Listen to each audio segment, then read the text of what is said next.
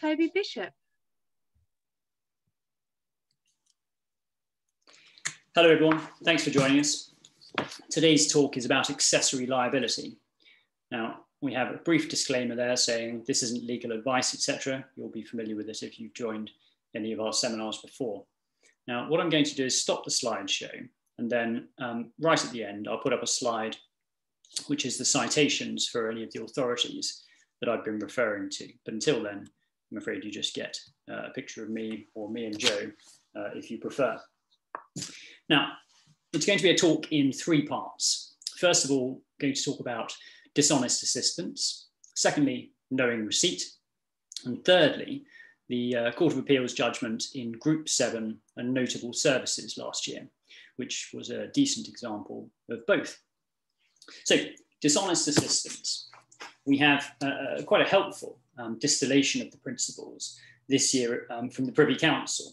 So, the opinion of Lord Hodge uh, in Magna and RBS Gibraltar, in which he explains that in order to establish a claim for dishonest assistance, a claimant must show that number one, there was a trust.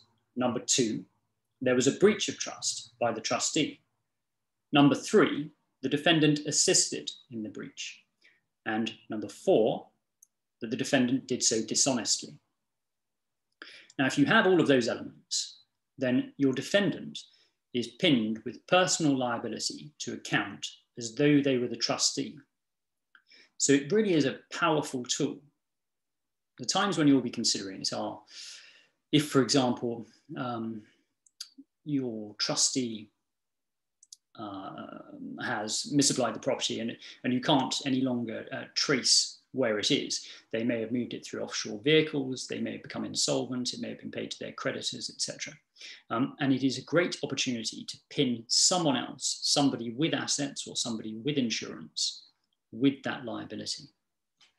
So let's consider the four elements. First, that there was a trust. It's relatively straightforward. It doesn't apply um, simply to uh, a conventional trust um, that you'll be familiar with. It, of course, extends to estates, but it also extends to constructive trusts and resulting trusts, and to all sorts of other fiduciary obligations and arrangements. So um, it'll extend to an agency relationship or a uh, company director or a nominee. You can this, this wouldn't usually be the bit that presents you with the difficulty. You are generally going to know um, whether or not you've got a trust. It's just worth being aware of, of the breadth of its application to try and bring it in perhaps to a case where other people haven't noticed it. Second, that you have a breach. Now again, most of you on this are going to know what a breach of trust is and what it looks like. But it's important to be aware that there is that the, that the state of mind of the trustee who has committed the breach is totally irrelevant. And we get that from what is probably the most important decision in this field, the case of Royal Brunei and Tan in 1995. And in that, uh, uh, the, the opinion of the Privy Council uh, was delivered by um, Lord Nicholls, and it would later be described by um, Lord Millett in the House of Lords as magisterial um, it is worth reading. Royal Brunei itself uh, was an airline, or perhaps still is, I'm not sure, uh, and it appointed a local agent um, to sell passenger and cargo space effectively. And the agent did its job, it sold that space, and so it collected money on behalf of its principal, money that was held on trust for Royal Brunei. But what it did was mix it with its own funds and start applying the agent, that is, start applying it for the agent's own purposes. And the agent then became insolvent. Mr. Tan was the managing director of the agent. And the reason why it reached the Privy Council was that the court, uh, uh, that the local court of appeal um, concluded that because the, uh, the claimant, the airline, could not establish dishonesty or, or fraudulent conduct on the part of the company, uh, Mr. Tan couldn't be pinned with liability. Now, short answer is that is wrong. Um, but Lord Nicholls explained it in this way. Their lordship's overall conclusion is that dishonesty is a necessary ingredient of accessory liability. It is also a sufficient ingredient. A liability in equity to make good resulting loss attaches to a person who dishonestly procures or assists in a breach of fiduciary obligation. It is not necessary that in addition, the trustee or fiduciary was acting dishonestly. So that is important. It doesn't matter what the trustee has done. And, and, and interestingly, uh, in fact, um, the person who brings, the person with the standing to bring this, um, this claim will frequently be the trustee. Now, most of the time, that's going to be a replacement trustee, but it doesn't have to be. Um, it could, in fact, be the trustee who themselves committed the breach. Um, and that might happen. You, might, you might think it's unlikely, but uh, that might happen if, for example, um, they have not been in any way dishonest, they have perhaps been negligent, um, or if there's an exoneration clause, um, which in fact protects them from liability, the beneficiaries may well think that leave, leave them to, to try and make good their mistake. So the next thing to have in mind in relation to a breach is that there is no requirement uh, that there's been a misapplication of trust property. So this could involve um, simply diverting a profit to some third party, or it could involve somebody taking a bribe or making a secret profit themselves. Um, it doesn't need, uh, it's, it's, it's not receipt based. So it doesn't involve sort of an asset of the property falling into somebody else's hands necessarily. The liability to account can arise um, without that. So the third element is the assistance or inducement. So in the authorities, you'll find inducement, procurement, assistance. It is somehow making this breach happen. And um, it's causation, really. Did this defendant cause the breach? So it's a question of fact. There is no mental element to it. There's no subjective element. And group seven, and notable, which we'll come on to a little bit later, explains it in this way. On authority, the matter must be approached in two ways, uh, my apologies, in two stages. It must be shown that the conduct in fact assisted the breach of trust and that the loss directly resulted from the breach of trust. The test at the first stage is that the assistance must be more than minimal. The test at the second stage is that the loss in fact resulted from the breach of trust. Now, we've got a bit more clarification this year. Um, Mr. Justice Snowden, in the case of uh, Bilta against NatWest Markets in 2020, uh, this was a um, this was people selling um, carbon carbon notes, I think. Um, so Mr. Justice Snowden explains, it is uh, sufficient for the ingredient of assistance is simply conduct which in fact assists the fiduciary to commit the act which constitutes the breach of trust or fiduciary duty.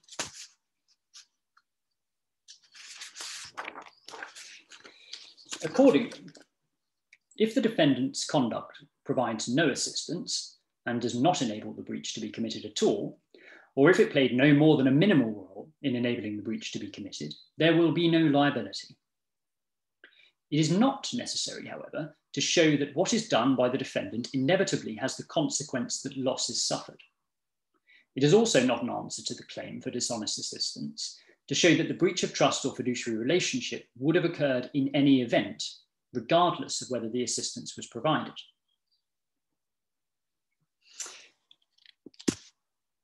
Now that tells us all we need to know, I think, about, uh, uh about the, the, the practical aspect of assistance. And the final element, though, is dishonesty. And this really is the most, I think it's, I think it's the most important aspect of this. It is certainly the most um, controversial and I would suggest the most interesting. It's the cornerstone. And interestingly, it has flummoxed the, the courts at the very highest level. Um, so, so I'm going to spend a bit of time on it. Um, Lord Nicholls, uh, I've already referred to in, in the uh, Royal Brunei case, he explained it in this way. It means simply not acting as an honest person would in the circumstances. The standard of what constitutes honest conduct is not subjective. Honesty is not an optional scale. The higher or lower values, according to the moral standards of each uh, is not an optional scale with higher or lower values according to the moral standards of each individual. If a person knowingly appropriates another's property, he will not escape a finding of dishonesty simply because he sees nothing wrong in such behavior. This, read some places, is sort of referred to as the, or that last piece is referred to as the sort of Robin Hood standard. Robin Hood knew he was stealing, but he thought he had a perfectly good reason for it. So the law as to dishonesty, that was in 1995, you remember, Royal Brunei. So the law as to dishonesty, though, took a, little bit of a, a little bit of a wrong turn in the House of Lords. So by a majority of the House of Lords, in the case of Twinsectra and Yardley in 2002, everybody in the House of Lords was trying agreed, it seems, that uh, that, uh, that Lord Nicholls uh, was right in Royal Brunei. Um, what they didn't agree about was um, what it was that he was actually saying.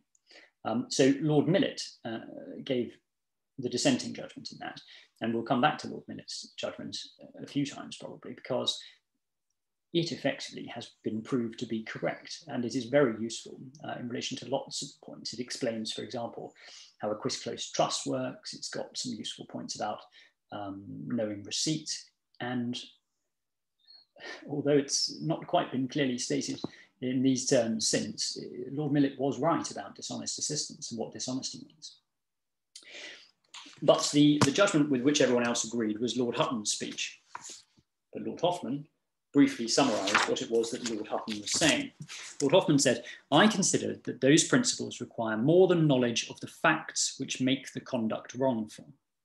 They require a dishonest state of mind, that is to say, consciousness that one is transgressing ordinary standards of honest behaviour. Now that, that consciousness, that is subjective, isn't it? There can't really be much doubt about that. Um, but a mere three years later, in the Privy Council, in the case of Barlow Clowes International and Eurotrust, um, so 2005, I have it down as 2005, which was the massive, the massive pension fraud on the Isle of Man. Um, and if anyone joined in um, the talk on domicile, you'll remember one of the Barlow Clowes cases um, came up in that. Um, but essentially, the Privy Council, this is the Privy Council again, uh, and uh, the, the, uh, the Judicial Committee of the Privy Council on this occasion consisted of Lord Nicholls, who you'll remember from Royal Brunei, but also Lords Hoffmann and Steyn, uh, for, who were both in um, Twinsectra. And the opinion is given by Lord Hoffmann. Um, now, they are dancing around uh, what Twinsectra means. So Lord Hoffmann said, their lordships accept that there is an element of ambiguity in these remarks, the ones I've just referred to, which may have encouraged a belief expressed in some academic writings that, twin that the Twinsectra case had departed from the law as previously understood and invited inquiry not merely into the defendant's mental state about the nature of the transaction in which he was participating, but also into his views about generally accepted standards of honesty. Now, if we just remind ourselves of what Lord Hoffmann said, in Twinsectra, uh, they require a dishonest state of mind. That is to say, consciousness that one is transgressing ordinary standards of honest behavior. But uh, in Barlow Clowes, he's explaining that that is not quite what it meant.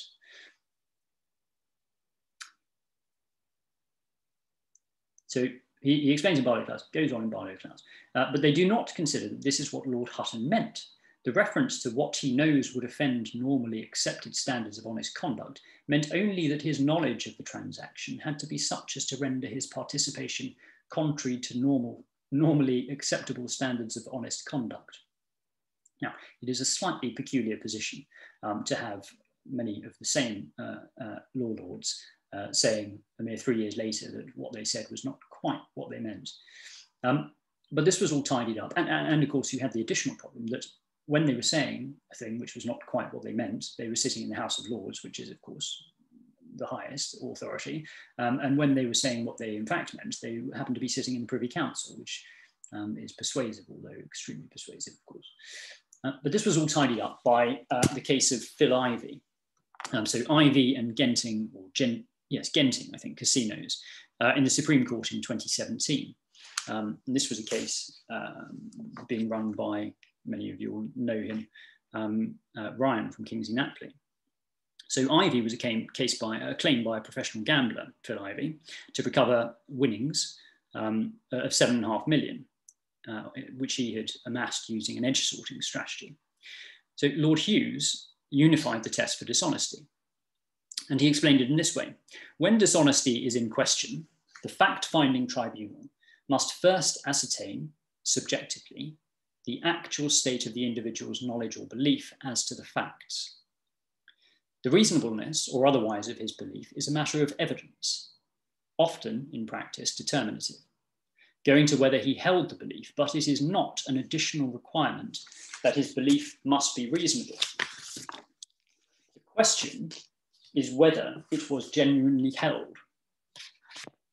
When, once his actual state of mind as to knowledge or belief, uh, when, when, his, when his actual state of mind as to knowledge or belief, as to, as to facts, is established, the question whether his conduct was honest or dishonest is to be determined by the fact finder by applying the objective standards of ordinary decent people. There is no requirement that the defendant must appreciate that what he has done is by those standards dishonest. So, stage one, you ascertain the state of mind of the person, of the defendant.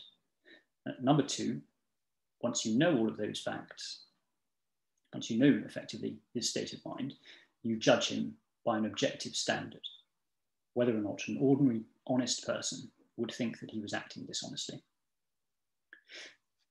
Now, to help us understand that in practice, Lord Hughes um, gave us a couple of examples, but he referred back to um, uh, the criminal case in the Court of Appeal, Re Ghosh, where it was said that take, for example, a man who comes from a country where public transport is free. On his first day here, he travels on a bus. He gets off without paying. He never had any intention of paying. His mind is clearly honest, but his conduct, judged objectively by what he has done, is dishonest. It seems to us that in using the word dishonesty in the Theft Act, Parliament cannot have intended to catch dishonest conduct in that sense. And Lord Hughes explains why that is. Because he, the man on the bus, genuinely believes that public transport is free, there is nothing objectively dishonest about his not paying on the bus. The same would be true of a child who did not know the rules, or of a person who had innocently misread the bus pass sent to him and did not realize that it did not operate until after 10 in the morning. What is objectively judged is the standard of behavior given any known actual state of mind of the actor as to the facts. Now, before we leave dishonesty, we do have uh, an additional um, definition um, by the Privy Council this year in uh, Magna and RBS, the case that I've already referred to. And I'll read that out as well, uh, because it's a, very, it's a very tight summary and it's very useful to my mind. In this context, dishonesty can be subjective in the sense that the defendant knew that what he was doing was dishonest, but that subjective understanding is not necessary to establish dishonesty. Honesty in this context is an objective standard because it is sufficient that the defendant's knowledge of the transaction rendered his participation in it contrary to normally acceptable standards of honest conduct.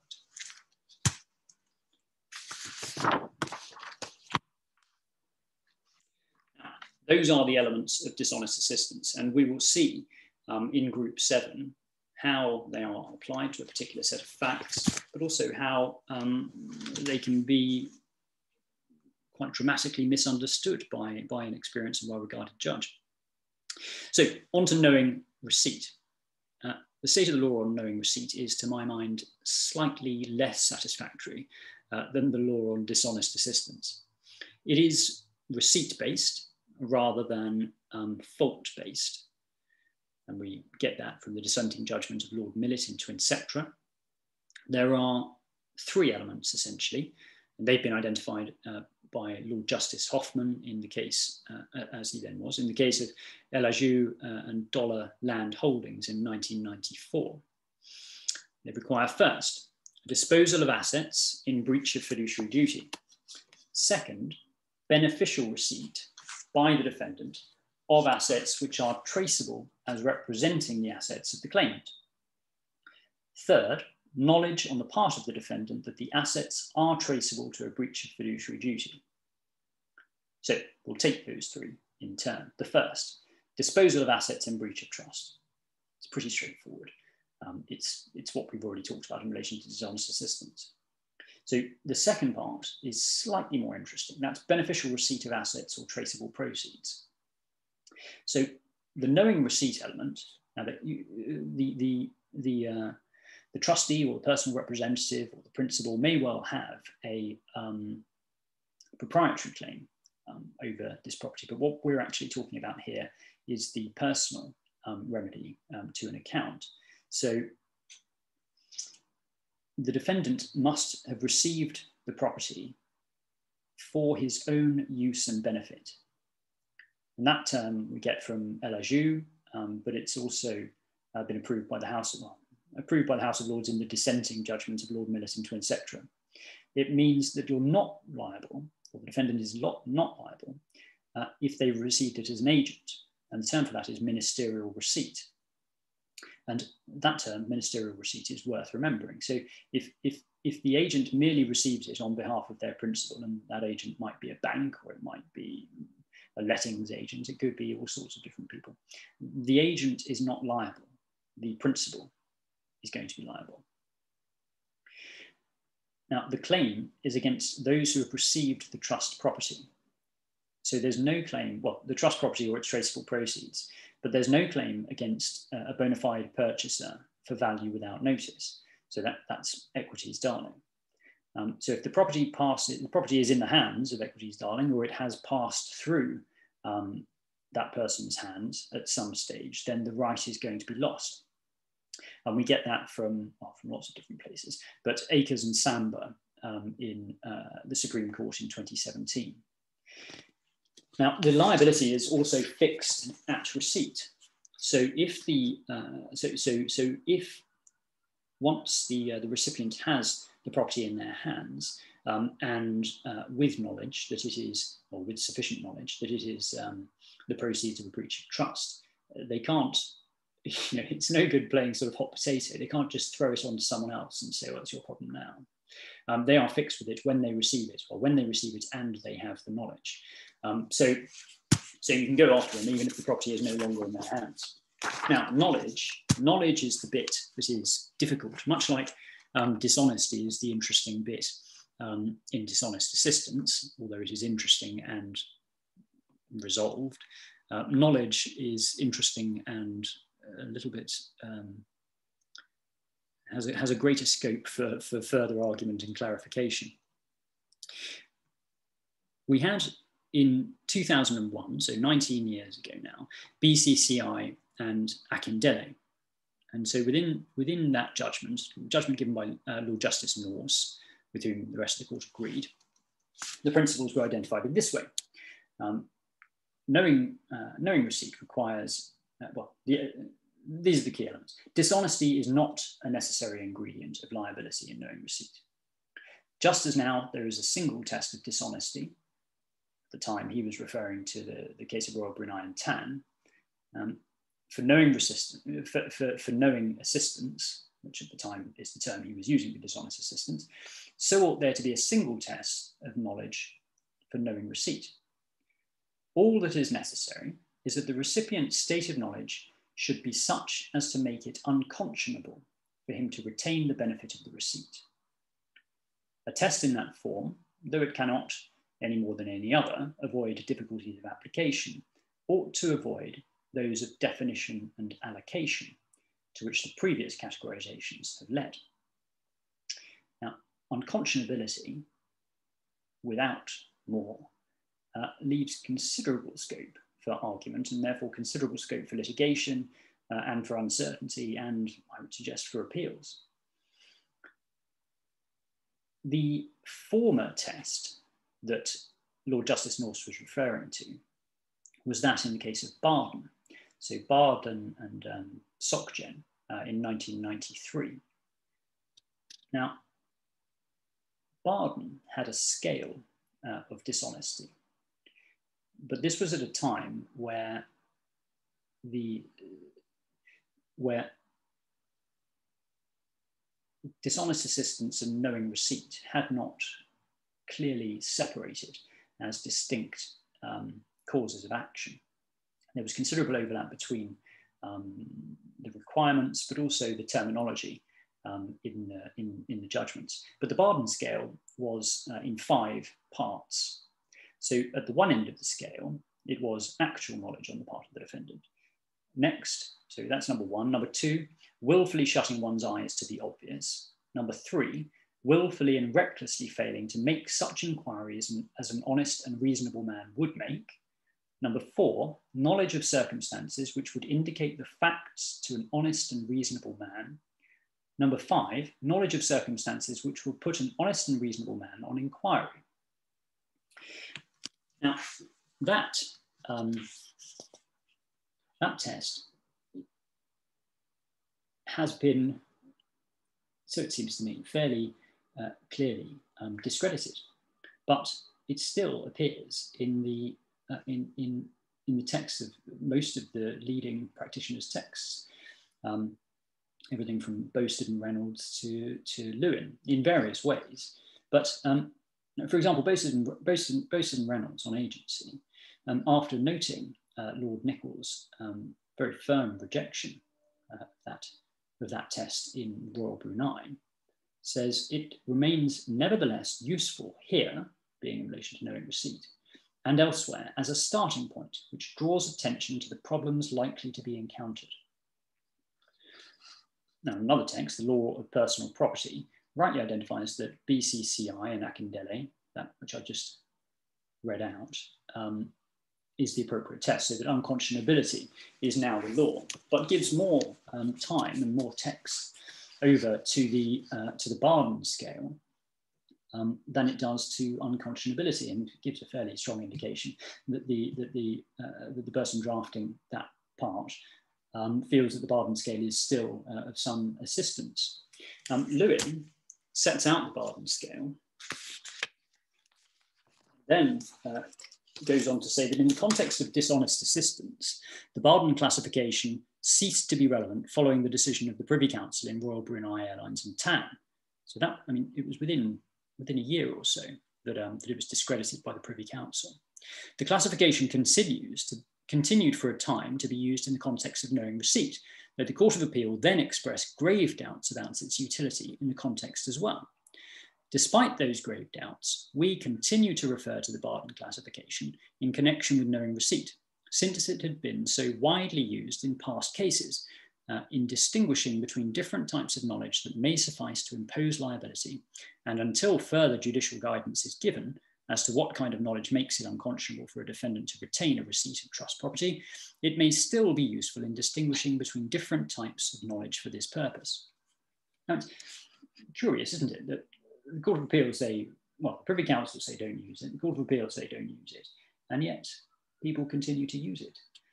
In Snell's, Snell's equity refers to a sliding scale, um, and that, that's, that sliding scale, uh, they, they cite for that proposition a case called Armstrong and Winnington.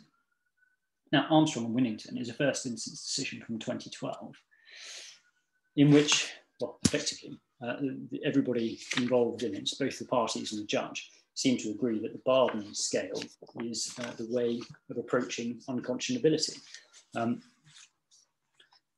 but I would, I would caution um, people against using the Baden scale too much because I would suggest that it, it opens you up to uh, an attack on, on an appeal because it has been very firmly discredited. So BCCI and Akindele point out, the Court of Appeal pointed out the following. Two important points must be made about the Baden categorization. First, it appears to have been propounded by counsel for the plaintiffs, accepted by counsel for the defendants, and then put to the judge on an agreed basis. Secondly, though both counsel accepted that all five categories of knowledge were relevant, and neither sought to submit that there was any distinction for the purposes between knowing receipt and knowing assistance, a view which the judge expressed his agreement, with which the judge expressed his agreement. And then we also have the Court of Appeal um, last year in Group 7 uh, explaining it in this way. The judge found assistance in the Baden scale of knowledge, despite its rejection by Lord Nicholls in the context of dishonest assistance. What Lord Nicholls actually said was that the Baden scale was best forgotten and despite the grave doubts about its utility in cases of knowing receipt expressed by Nourse LJ in Akindele. So it is, I, do think it's surprising that people continue um, to rely on it, but then what else do you do with the rather abstract concept of unconscionability in relation to knowing receipt? There you have the elements of knowing receipt. So let's move on to, um, to look at group seven. Uh, so group seven and notable. It's a useful example, um, partly because, well, it's fairly recent, Court of Appeal in 2019. Um, the facts are quite fun, um, but it involves two professionals. Um, they are the defendants, and they fall very narrowly either side of the line. One of them finds himself liable for uh, to, to account personally for 12 million euros. The other one um, has no liability whatsoever and is still in practice. It's also important because the first instance judge, the trial judge, was Justice Morgan, um, the Court of Appeal decided got it quite wrong. So the litigation was mammoth. it had taken up, by the time it reached the Court of Appeal on this occasion, it had taken up um, 151 days of court time. There had been trials in the Crown Court, in the High Court, and there had been hearings in the Court of Appeal. But the facts can be stated fairly briefly. A Swiss oil services company, acting through a subsidiary that's now called Group 7, had 100 million euros to invest. Swiss oil services apparently doing quite well. Uh, a fraudster, Mr. Luis Augusto Ramos Nobre, promised huge returns, and regrettably, Group 7 transferred the money into his control. Mr. Nobre then laundered the proceeds through a London multidisciplinary partnership called Notable Services.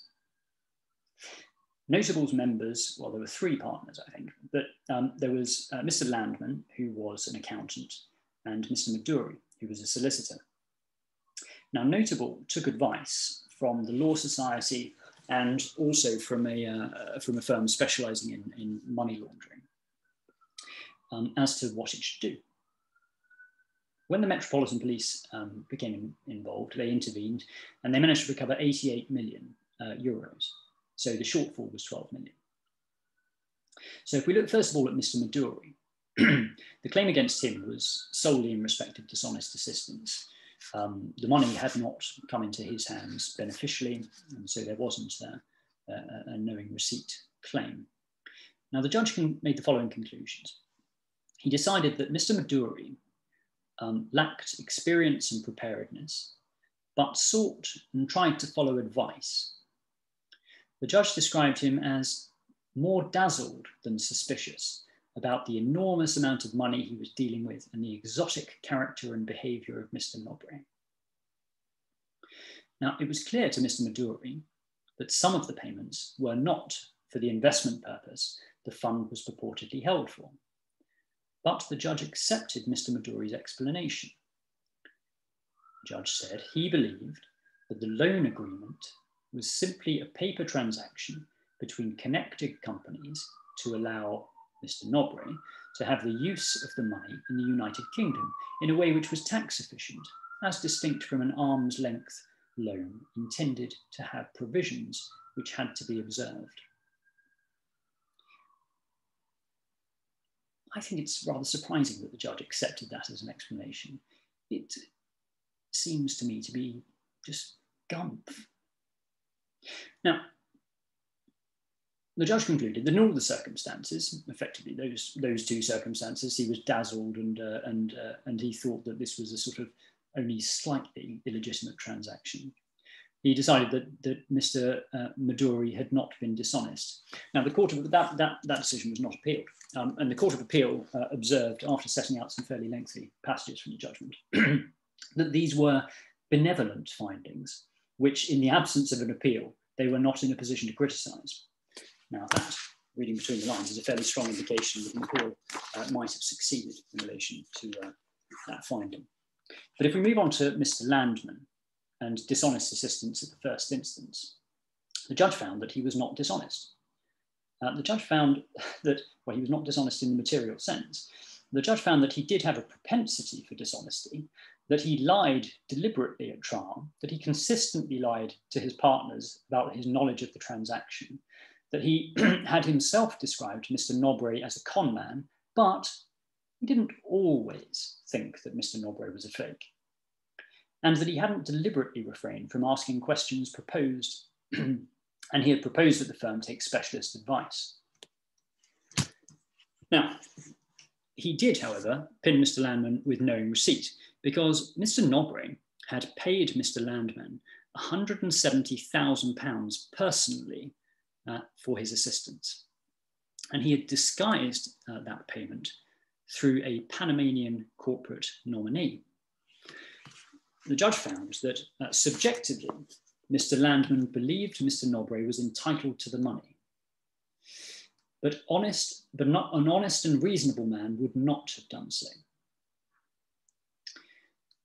He found that it was plainly unconscionable for Mr. Landman to retain the £170,000 because it had been obtained for deliberately and dishonestly breaking the solicitor's accounting rules and dishonestly misleading Notable as to his involvement in or knowledge of the transactions which led to Notable paying away some 15 million euros. Now, so Group 7 had achieved getting back from uh, Mr. Landman £170,000, but they were still uh, out of pocket by mm, a considerable amount of money, 11 plus million. so they appealed uh, on the dishonest assistance um, ground. Um, now, the Court of Appeal said that Mr. Justice Morgan had applied the wrong test. He had applied the Baden scale of dishonesty in relation to dishonest assistance. Now, since well, the Baden scale of dishonesty, as it appears from earlier, was come up with by counsel, by someone like me, um, and then uh, accepted by someone else like me, and, and, therefore the judge didn't interfere with it, a first instance judge. Um, and within two years, a Privy Council uh, law lord uh, had said um, that it should be best forgotten. So for uh, Ms. Justice Morgan to still be applying it, uh, however many years later, is understandably, the Court of Appeal thought that was unwise. Um, now, it was conceded in the Court of Appeal that Mr. Landman uh, had, had, that had Mr. Landman disclosed the £170,000 um, payment, that the transactions could not have proceeded. Court of Appeal explained in this way. It would have at once, uh, it would at once have been obvious that no reputable firm could have anything to do with such a client or his supposed wealth, nor would the firm advising about um, money laundering, and the Law Society have advised as they did. The Court of Appeal described it as a striking feature of the judgment that the judge nowhere uses the word bribe to describe the undoubtedly corrupt payment which Mr. Landman negotiated with Mr. Nobre. And so the Court of Appeal concluded that the clear logic of the judge's unchallenged findings in relation to Mr. Landman's receipt of the £170,000 is that Mr. Landman must have known, uh, must have been guilty of dishonest assistance of the breaches of trust and fiduciary duty. It was impossible to insulate his dishonesty in assisting the making of the payments out of the account from his uh, equally dishonest conduct in facilitating the initial receipt of the 100 million into the account. So it was said that the judge's error, in, uh, judge's error of approach fatally affected his analysis of Mr. Landman's conduct on the issue of dishonest assistance, and that if he had stood back and reviewed the position as a whole, the only conclusion to which he could reasonably have come is that Mr. Landman, Mr. Landman's whole course of conduct in relation to the 100 million from late October 2011 onwards was objectively dishonest. Now, the court, you'll, you'll remember also that um, Ms. Justice Morgan um, said that, uh, that, um, that Mr. Landman did not uh, intentionally decide not to ask questions and that he had um, encouraged the firm to take money laundering advice. So on that, the Court of Appeal said that uh, Mr. Landman's uh, efforts uh, were a cynical move designed to facilitate the receipt of 100 million into the client account as a first step to payment out, including the payment to him of a bribe of 170,000. But there's a very neat um, statement of the law as to uh, what's called blind eye knowledge, um, which is as follows. The imputation of blind eye knowledge requires two conditions to be satisfied. the first is, is the existence of a suspicion that certain facts may exist. And the second is a conscious decision to refrain from taking any step to confirm their existence. The existence of the suspicion is to be judged subjectively by reference to the beliefs of the relevant person. and the decision to avoid obtaining confirmation must be deliberate. I slightly prefer the way that uh, Lord Justice Millett put it in his dissenting judgment in Twinsectra. He said this It is dishonest for a man deliberately to shut his eyes to facts which he would prefer not to know. If he does so, he is taken to have acted with, uh, is taken to have actual knowledge of the facts to which he shut his eyes. Such knowledge has been described as Nelsonian knowledge, uh, after Admiral Lord Nelson um, putting the telescope to his blind eye and saying, I see no ships. Meaning knowledge which is attributable to a person as a consequence of his willful blindness, or, as American lawyers describe it, contrived ignorance. I'm quite fond of the term contrived ignorance and Nelsonian knowledge. So that's why I'm ending that bit of it there. Um, group seven is, is interesting, I think, because uh, the end result is that Mr. Landman, well, Mr. Landman and uh, Mr. Midori are both um, suckered by Mr. Nobre. And Mr. Nobre, you can sort of look him up on the internet. He is a, a he, he, he's quite a character. Um, and he, he, clearly is a most persuasive con artist. Um, they were both suckered by him, um, but Mr. Landman uh, ends up with a judgment against him for 12 million euros. Um, Mr. Midori uh, does not. Now, you may come across this, we're, we're, about to finish this talk, but you may come across this in lots of different um, ways. You might be acting for beneficiaries um, of a trust that has been um, plundered in this way. Um, you might be acting for the trustees, the replacement trustees, the personal representatives, the replacement personal representatives. Um, you might even, I suppose, be acting for the for the miscreants. Although, if you are, you want to be a bit careful about how you're uh, how you're getting paid. Um, but it might just come up because one of your non-contentious clients or one of your non-contentious um, colleagues, you know, wants to run something past you, as as people sometimes do, and you you need to sort of have your ears and eyes open for this kind of behavior. And where it presents itself, you know, the only your best your best tool um, is the thing that you're probably best at. It's probably why you do the job. You ask questions and you analyze the answers. And what you need to have in mind, of course, is that a, a con artist, in order to be successful, is plausible. They, they are able to um, give responses that have a superficial um, sense of propriety about them, or they're able to deflect um, the, the inquiry.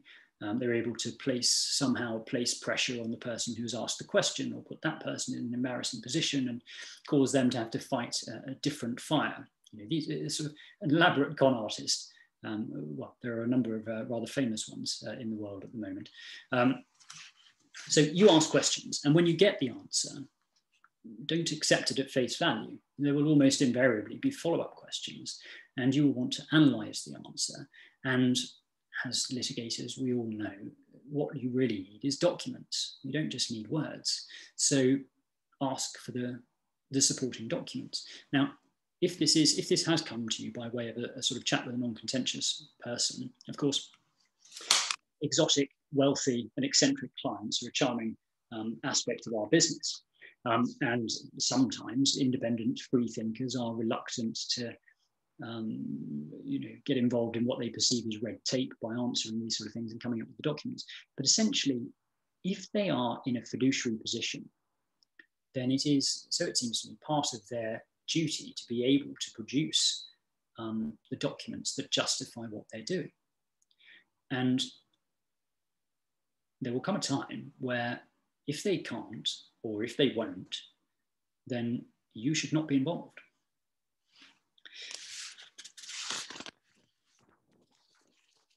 Now that, I think, is the end of our talk. Uh, I can't see if we have any um, questions, but what I'll do is I'll put up the list of authorities that I promised.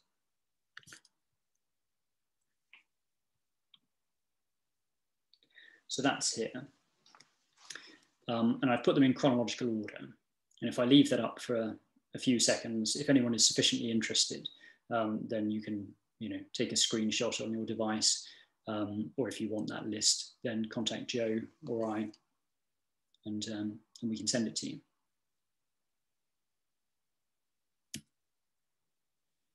So that's the final slide. As always, if you want to disagree with me about any of that or um, just want to talk to me about any of it, then feel free. My number's there and my email address is there. Thank you all for listening.